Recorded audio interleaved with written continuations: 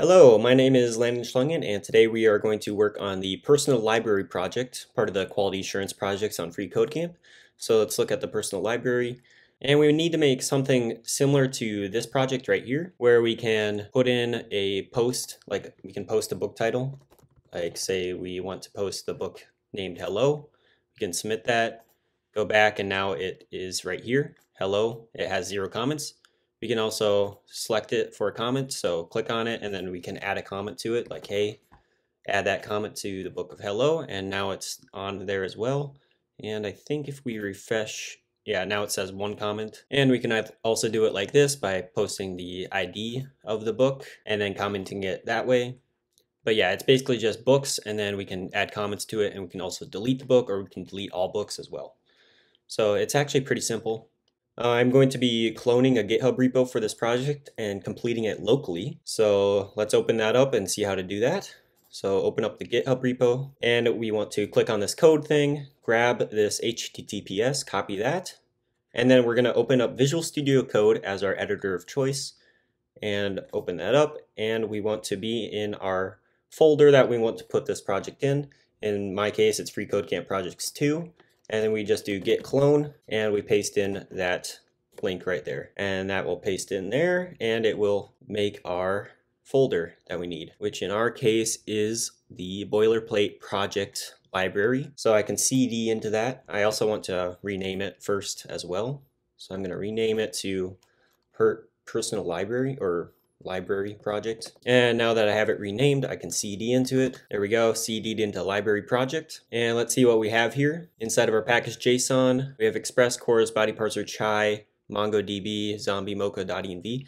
So I need to add a couple of things here. I need to add in Mongoose to help with MongoDB. And I also need to add in nodemon so that it will restart our server every time we make a change. So we're going to do npm i nodemon and also mongoose. Install those dependencies and we should be good to go. And it also installs all the other ones when we do this because because it won't come with a node modules folder right off of GitHub. So that's why we have to do npm install. Even if you don't want to install anything else, you still have to do npm install so that it will uh, get our dependencies correct. All right, sweet. Now we have nodemon and mongoose. Next thing we have to do is take a look at our env file and we have to set up our port and our database um, string URI because we're going to be using MongoDB Atlas for this. So I want to make a new file, call it .env, copy over the sample env, paste that in, and then we want to get rid of the sample.env and delete that. And then we want to open up MongoDB Atlas. If you don't have an account, it's free. Just uh, log in with Google, sign in with Google. That's what I did. And then set up your cluster correctly. Most of it is default anyways. And then we go to connect, go to connect your application, and we need this URI string right here and go back into Visual Studio Code, paste that in for the DB string, and then we need to change up our password and our database name. I also want it to run on port 3000, random port that I want to use. I also don't want to show you my password or database name, so I'm going to change those quick, make sure they're correct for you. Now that I have my .env set up, I want to make a new file, call it database connection or db connection. This is where I'm going to connect to the database. Oh, it's also a dbconnection.js because it's a JavaScript file. And I'm going to connect to the database like so. First, I'm going to get mongoose, and then I'm going to do mongoose.connect and get our database string with .env.db. And then I just export db and I'm going to import it inside of our server.js file. So we're going to go in here and we're just going to do require our connection just so that it makes sure to run that file dot slash db connection and it, that way it should run that. Next thing I want is a new file, another new file. This time it's going to be models. So we need our models that we need and models.js and we're going to be having a book model. So we're going to bring that in here. So our book model, all it's going to be is this book schema that has a title and the title is required the comments is in a, a, string array. You know, we can just do a bunch of comments that are just strings. So that's all that is. And it's just one model this time, just the book, and we should be good to go. We're going to be doing most of our work inside of our routes file, api.js. This is where we do our get, post, and delete routes for our books, for all the books. And then we can select a book with an ID, and we actually can you know, get that book. We can post comment to that book and we can also delete that specific book as well. So the first thing we want to do inside of this file, the api.js file, we want to grab our book model and we can do that with this line const book equals require dot dot slash models dot book because inside that file I do exports dot book equals book and then we can get it with dot book inside of this api.js file right here. And then we can use it just like any other Mongoose model. Next thing I want to do is I want to actually start our server. So let's start this quick. We do actually inside of our package JSON, I want to add a script. So instead of just start, I want to do dev. I want to have a dev one, which does nodemon server.js. So that will actually run it and then it'll keep running it as we make changes. And then we can just do npm run dev and it will run that script for us. And it looks like our app crashed. Let's see why. Cannot find module.env, which is weird because I have .env here. Not really sure what happened there. Let's try npm run start. Still crashed. Can't find module.env. Hmm. This might have to go up here. Maybe that's why. Either that or I have to do npm install again. I might have had to do npm install. And now let's do npm run dev, and it looks like it's working now. Okay, cool. I thought it would uh, install everything at the start when I installed Mongoose and Nodemon, but I guess not. So, okay, now I can go to localhost 3000, and here's our application. Can't really do anything right now. If I try and add a book title and submit it, it doesn't do anything. And we have to make it do something. So let's take a look at our api.js file. First thing we want to work on is probably posting a book because we can't get any books without actually having some in the database, so I want to work on the post first. And the post is actually pretty simple, pretty simple. So req.body.title, that will get the title that we input inside that box. It'll get this um, title that we put in there. First thing we want to check is if we don't have a title, then we just send missing required field title. Otherwise, we make a new book with that title and we add the comments in, which will be an empty array at the start. And then we do new book save, and this takes in an error and data property. And then we want to say if there's an error or there's no data, which means something went wrong. Then we want to do res.send. There was an error saving. Otherwise, else, we want to do res.json and we want to send it the book ID and their title. So we can do underscore ID, data dot underscore ID, and then title, data dot title. And that's our post function all done and dusted. So now we should be able to post a new book to our database. Let's try it out. If I submit this new book, right now it's not getting it, but I should be able to check in my MongoDB Atlas and see if it's in there. So let's try another one here. Uh, book two, submit new book, and let's check our MongoDB Atlas.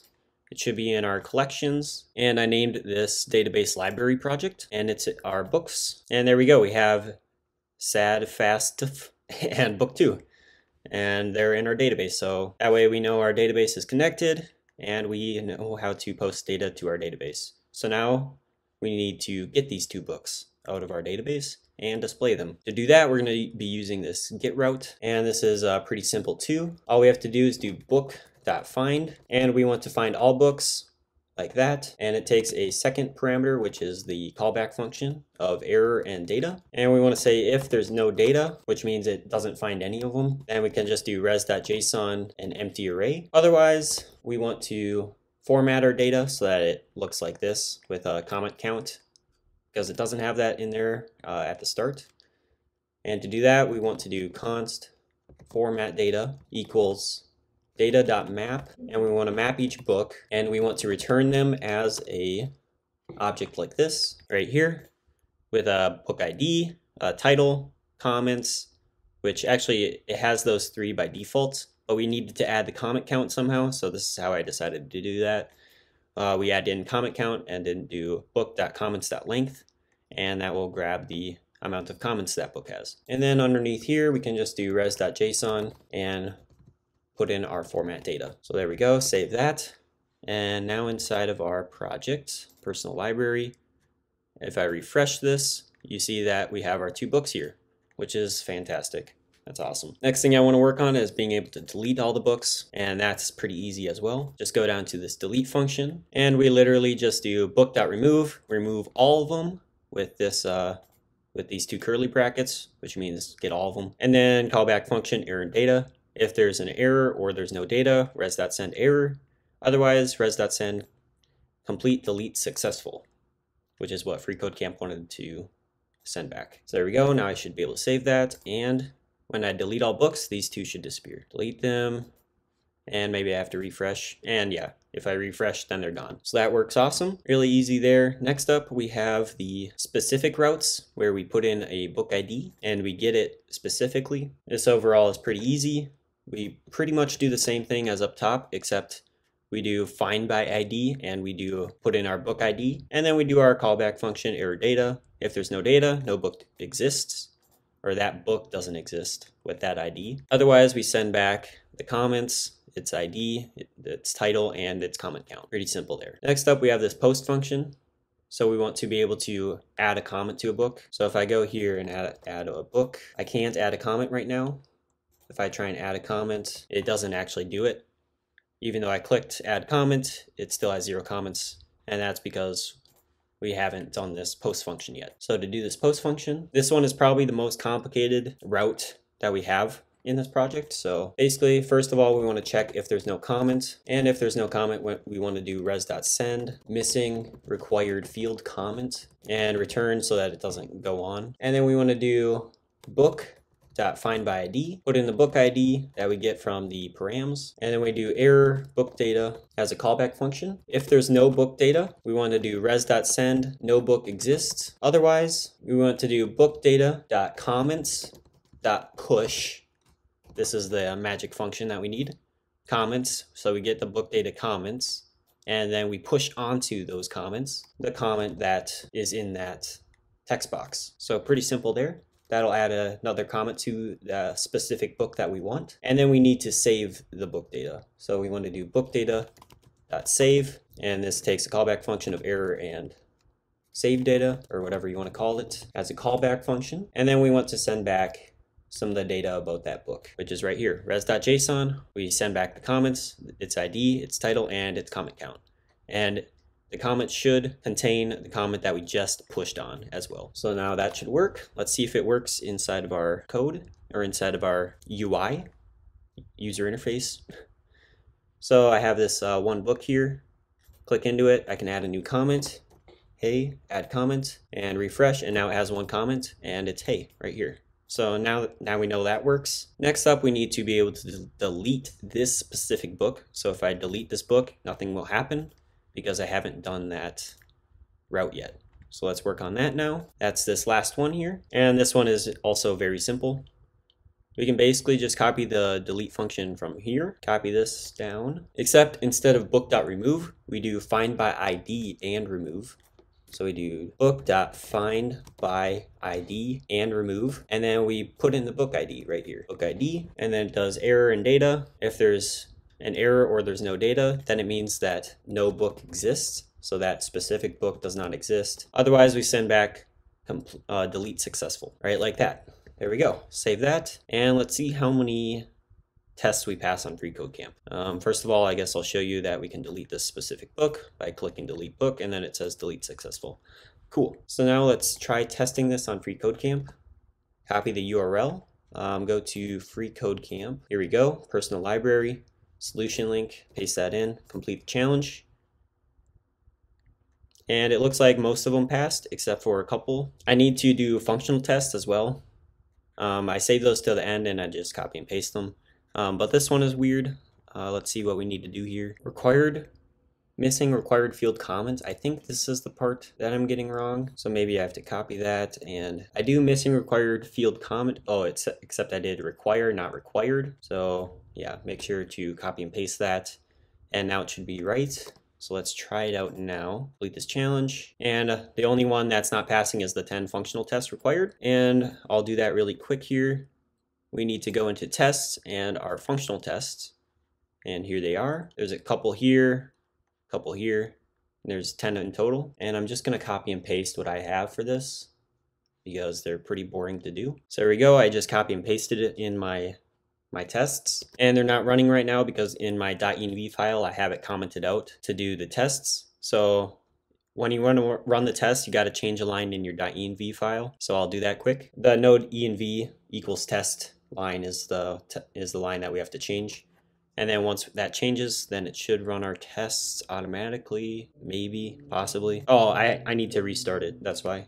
control C and then nodemon or npm run dev again. And now it's running our test and all of them complete.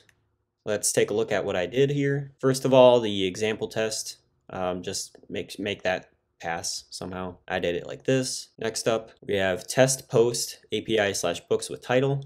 So I'm getting these uh, tests. Actually, no, these tests are already set up for us, kind of. But yeah, we need to test the post with API slash books. So I made a post request to that and I sent this title, test title, and then I end it and I assert that the status is 200 and I grab the book ID as well and set it to my book ID up here. That's so I can delete it later and test the delete functionality. But yeah, then I assert that the body.title equals test title and that it worked because this is making a real request and it's actually putting another book inside of my database. Next up, we need to test with no title given. So here I sent nothing and it should um, send back res.text equals missing required field title. So that works. Next up, we need to test get API slash books so we get all of our books. And I'm just going to check that what's sent back is an array, which it is. Next up, we need to test getting a book with a specific ID with the ID not in the database. So here, uh, the ID I send is invalid ID, and what's sent back is no book exists. Next up, test it with a valid ID. Here I send a valid ID, and it's the ID that I make when I make that one test title book, and I just make sure that that's what the title is. Next up, I post an ID with a comment. So here I add a comment, test comment to that specific book ID. And then I check that that comment is test comment. And then I do without a comment field. And here it says missing required field comment. And then I post with comment, but the ID is not in the database. So here's an invalid ID. No book exists of that ID. And then I check the delete functionality and I delete that book with a valid ID in database and it says delete successful. And then I check with that ID not in the database and that just says no book exists. So those are the 10 tests we needed to do. Um, overall pretty simple. And now I should be able to complete all the tests on FreeCodeCamp. Here's that personal library project and let's try it out. And it completes all of them. And I can submit and go to the next challenge. So Cool. next challenge up is Sudoku Solver, and it has to be functionally similar to this right here, where we can put in a coordinate of like A1 and check if we can put a value in there. So here I check 2, valid false conflict in the region because there's a 2 right here, so I can't put it there. Let's try a 6 maybe, see if 6 could go there. Check placement, false, no conflict column because there's a 6 in this column. Let's try 7, 7 should work. Check placement, valid true. So then a 7 would go there. Well, it's just saying that there's no conflicts in the region or the columns or rows. And we can also solve it. So if we just click solve, it will automatically solve it for us. And that's using an algorithm um, for backtracking. So it like checks every number and then it goes on to the next one if it works. If it doesn't work, then it goes back and then tries a different number. And yeah, that's kind of how that algorithm works. So we're going to be implementing that in my next video. So yeah, I hope you enjoyed this video. I hope it was helpful. We built this personal library. Overall, it was much, much simpler than the issue tracker, which used like subdocuments and stuff. This one just used an array of strings. So not too bad overall. And I will see you in the next video. Comment, like, subscribe. Thank you very much. Bye.